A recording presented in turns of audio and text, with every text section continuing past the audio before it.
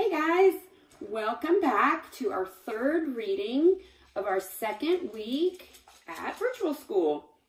Today we're going to continue with Little House in the Big Woods by Laura Ingalls Wilder. Today we'll start a new chapter, chapter 9, called Going to Town. And do you notice their bonnets on their head? So I was able to um, put bonnets on the girls. Ma's character in the little book that came with the dolls, she didn't have a bonnet, but she would have worn a bonnet as well.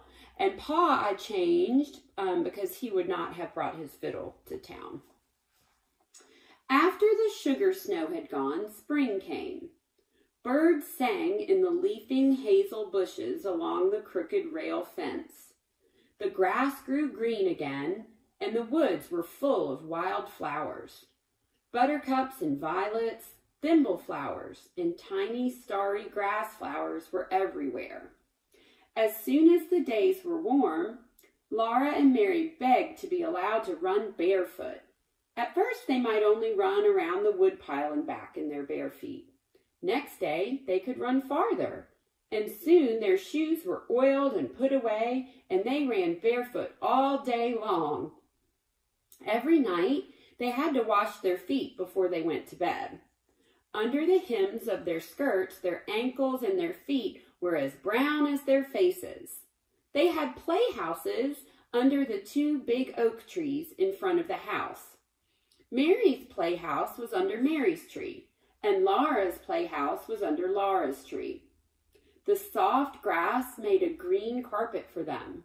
The green leaves were the roofs, and through them they could see bits of the blue sky. Pa made a swing of tough bark and hung it to a large, low branch of Laura's tree. It was her swing because it was her tree, but she had to be unselfish and let Mary swing in it whenever she wanted to. Mary had a cracked saucer to play with, and Laura had a beautiful cup with only one big piece broken out of it. Charlotte and Nettie and the two little wooden men Pa had made lived in the playhouse with them. Every day they made fresh leaf hats for Charlotte and Nettie, and they made little leaf cups and saucers to set on their table. The table was a nice, smooth rock. Sukey and Rosie, the cows, were turned loose in the woods now to eat the wild grass and the juicy new leaves. There were two little calves in the barnyard and seven little pigs with their mother hog in the pig pen. In the clearing he had made last year, Pa was plowing around the stumps and putting in his crops. One night he came in from work and said to Laura, What do you think I saw today? She couldn't guess. Well, Pa said, when I was working in the clearing this morning, I looked up, and there at the edge of the woods stood a deer. She was a doe, a mother deer, and you'll never guess what was with her. A baby deer? Laura and Mary guessed together, clasping their hands. Yes, Pa said, her fawn was with her.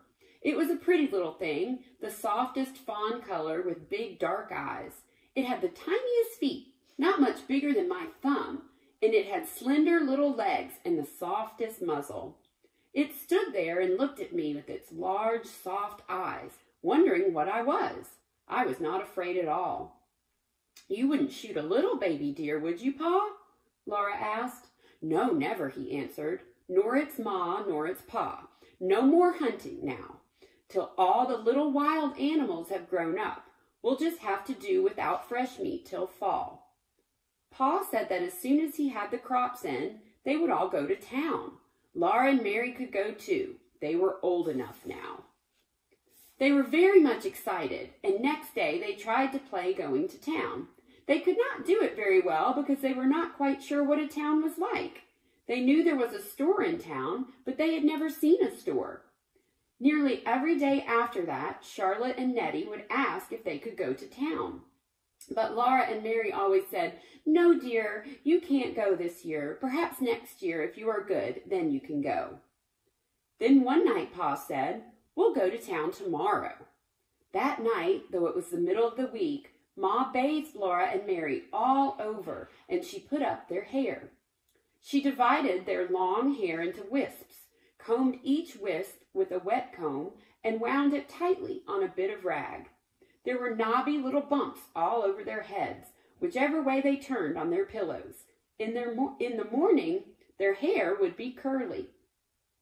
They were so excited that they did not go to sleep at once.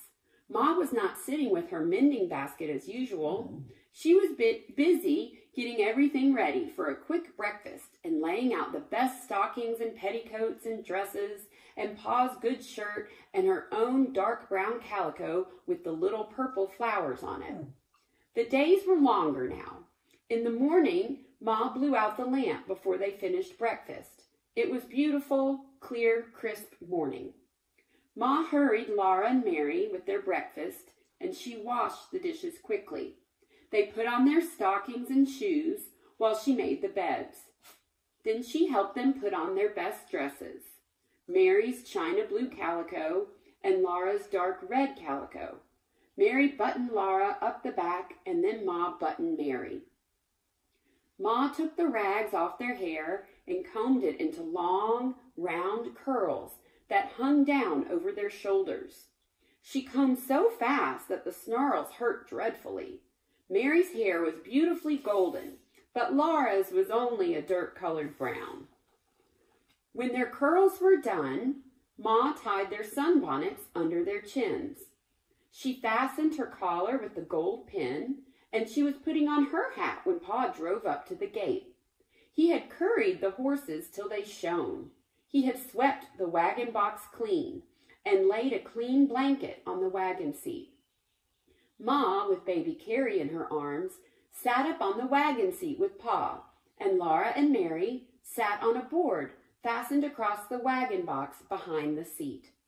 They were happy as they drove through the springtime woods. Carrie laughed and bounced. Ma was smiling, and Pa whistled while he drove the horses. The sun was bright and warm on the road.